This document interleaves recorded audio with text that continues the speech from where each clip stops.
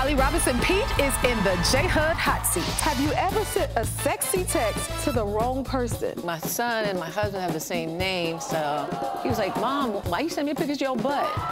I'm still in therapy. Plus, brothers who found their way in fashion. Tuesday at 2 on WBNX.